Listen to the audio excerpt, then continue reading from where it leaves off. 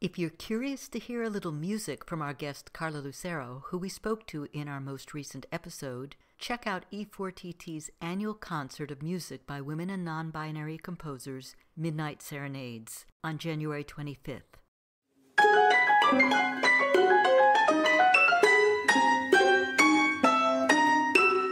Welcome to For Good Measure, an interview series celebrating diverse composers and other creative artists sponsored by a grant from the California Arts Council. I'm Nanette McGuinness, Artistic Executive Director of Ensemble for These Times. In this week's episode, we continue our conversation with Erika Oba, who we spoke to in May 2022. What is your compositional process like? It really depends on who I'm writing for and what context.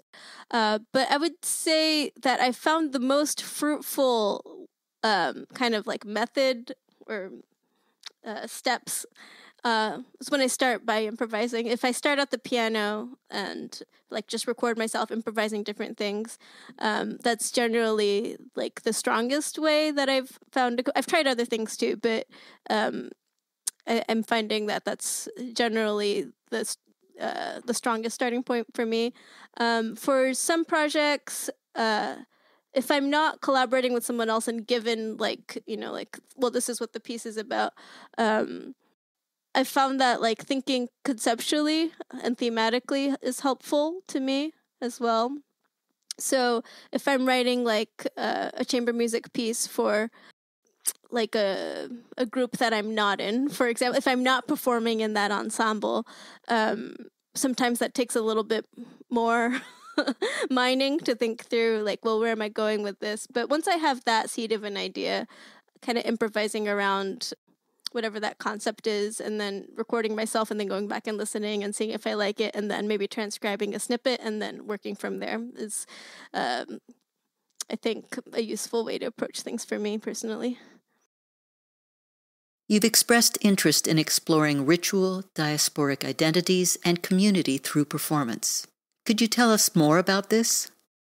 Yeah, so uh, I've had the good fortune of being able to work with a lot of different types of performing artists, dancers, like actors, uh, playwrights, um, in addition to you know all the fabulous musicians I'm surrounded by, and I feel like you know the Bay Area has a really rich scene for people working in different cultural practices and kind of exploring how to I don't know, cr- create new things, drawing on uh, different traditions. And there's a couple choreographers in particular who I feel like really influenced how I think about my own creative process and the kind of things I might want to make.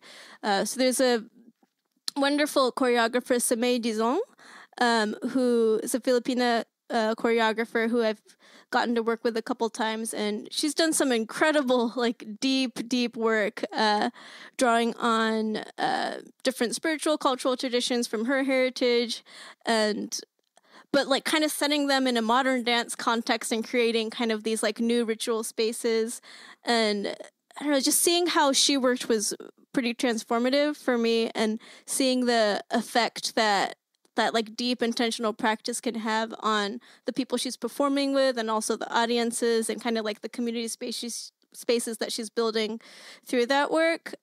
Um, and then another choreographer I've gotten to work with is Byb Chanel Bibene, who is a Congolese choreographer, and he also um, I mean, in some ways, similar to Samay, drawing on some like various uh, spiritual, cultural, different traditions from his own heritage, and then uh, kind of putting them in a more uh, modern dance context, but uh, but still very very different. Like only similar in that they're like kind of exploring these que- like some of the similar questions, but you know the way it manifests. You know they each have their own practice that uh, is deep and involved in their own ways.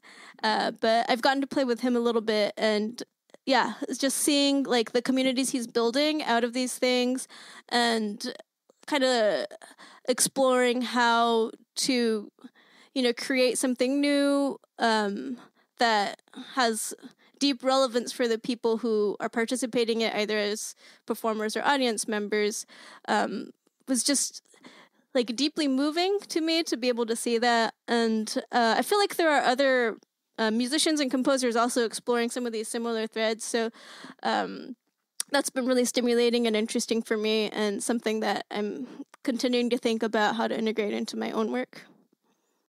You've worked as a dance accompanist at Mills College and Berkeley Ballet Theater. Has that also informed your practice? Yeah, I, I think I got my start working with dancers, I think when I was doing dance accompaniment work at Mills College and then shortly after that at Berkeley Ballet Theater. Um, and that was as a pianist, I was doing, you know, piano accompaniment work for their dance classes. And uh, yeah, I got to do ballet and some modern dance. Um, and regardless of the type of music, I was mostly improvising on piano. So I feel like those experiences made me a better improviser just across the board because you know you have to respond in real time and really give something uh, specific you have to give energy and be involved and you know in communication with the dancers and dance instructors um, so i feel like that definitely affected just how i approach music since then um, and now in my performing life, I, I work quite a bit with dancers, but primarily as a improvising flute player. so the con- the content of what I'm doing is a little bit different. Um, but I feel like the kind of the mentality I approach it with is coming from a similar place, which is, uh, you know, collaboration and listening and paying attention and tuning tuning into what people doing something completely different from what I'm doing and what I have, you know, no idea how they do what they do. um, but uh, it's one of my favorite things to do. I absolutely love working with dancers. So for you, composing dance music and classical chamber music are very different practices. Is there any cross pollination? most of the music I've done for dancers has been mostly improvised. I mean, it, composed in the sense that some of it I might like come up with, you know, some sort of concept or structure that I'm working with, depending on what's being asked of me. Um, but generally, not through composed music for dancers. Um, I did do. Uh, like I recorded like a fixed media thing for a Zoom dance performance during the pandemic that I was actually very happy with that collaboration process and what came out of it. Um, so, and I, I, guess that's like the most fixed thing I've done, and that wasn't really like I wasn't notating any of it, uh, but it was like a fixed composition in that way. Some of my concert music um, has again depending on the performers might have some sections of improvisation but um, i guess compared to the dance work significantly more composed.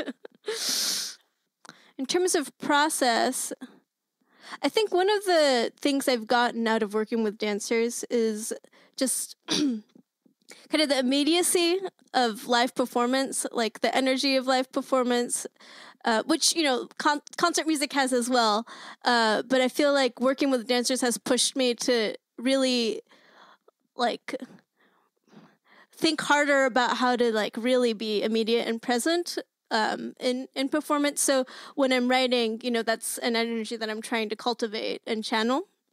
And also, just you know, from like the perspective of like uh, movement based music, having you know certain characteristics that I think are now just part of you know uh, how I think about music, and not not to say that everything I write is going to be like you know like a danceable groove based thing, um, but maybe even more thinking about gestural energy i think is is something mm-hmm. that um, i think about a lot when i'm composing so right. That you've developed your own kind of gestural vocabulary or repertoire of vocabularies that you can pull on when you're thinking visually.